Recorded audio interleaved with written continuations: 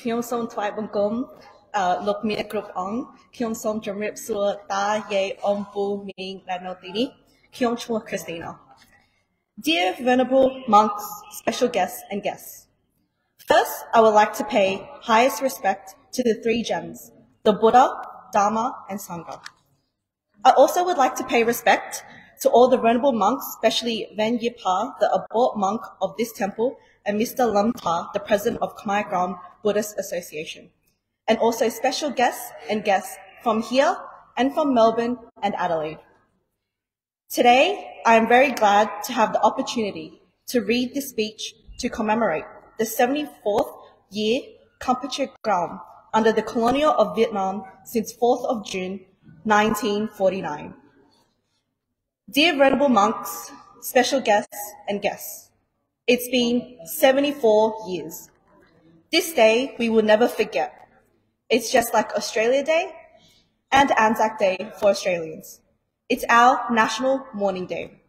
The day Khmer Krom lost all the rights over its land together with 21 provinces and two main islands to Vietnam when the French government transferred this land without the Khmer people consent.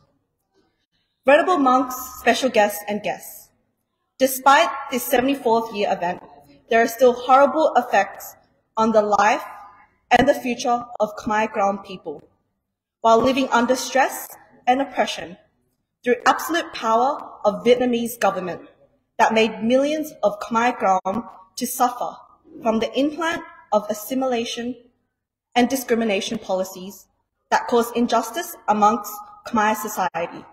Wrong accusation, imprisonment, intimidation, illegal prostitution, and land grab that made many Khmer landowners lose huge part of their land, causing life difficulty, many becoming poor and cannot afford education, no language schools, and without the right to speak, to express opinion or association. They also lost the name in Khmer of provinces that have changed to Vietnamese names in all 21 provinces and two main islands. Now Khmer Krom is close to non-existent. They are only recognized as one of the 54 groups of minority in Vietnam. For this reason, it marks a very sad day for all of us. And on behalf of all Khmer Krom youth in New South Wales and other states, I would like to humbly speak out to reveal the following facts. Number one, the 4th of June is the most important and unforgettable day in Khmer history. If we forget this, Khmer nation in Kampuchea Krom will no longer exist forever. This history clearly reveals to us as to what we are, why we are here, and how we live in the future. The 4th of June reminds us of a very sad memory of important history of this land that was one part of Khmer Empire. Very happy, rich, and famous, especially during the Angkor period between year 800 to 1200. The time prior to hundreds and thousands of Vietnamese tactily moved into this island, to, to this land, sorry, after their government completely annexed the Champa, one of their neighbors, and caused instability in the region with guerrilla war fighting against the Vietnamese invasion. With hundreds and thousands of Khmer people struggling against them to the end when Kampuchea became South Vietnam. This is the second country the, Vietnam, the Vietnamese took over and continue with the ambition to annex and erase Khmer nation like they've done to the Champa people. This day, the 4th of June, for me as one of the Khmer Krom people, it is a boiling memory and make me think, what's the fate of Khmer Krom people will be in the future? When will our suffering be ended? Look, those Khmer Krom in Kampuchea Krom are still working to revive their culture, religion, tradition, and languages. Regardless of what happens to them, they still stand strong, bond together, and remain strongly connected to their land. Ancestors, beliefs, values, and way of living of life, even under the oppression of Vietnamese government. What about us? What are we living here in a safe environment? Well-developed country with full rights and freedom? How much do we have heart for our people in Kampuchea Krom? How strong can we be together doing our best to support and to rebuild our nation, or at least to protect, protect our nation from elimination by the Vietnamese government.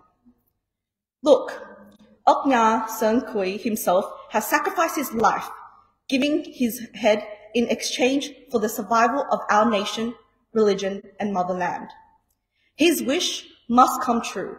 Our nation must not be destroyed. Our struggles must not continue.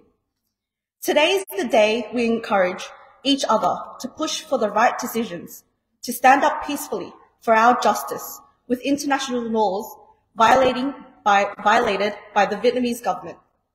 And while the Vietnamese government constantly refused to recognize Khmer Krom as indigenous people, but in reality, the world history have clearly revealed that we, the Khmer Krom, here on this land since the area of Chenla in the very first century.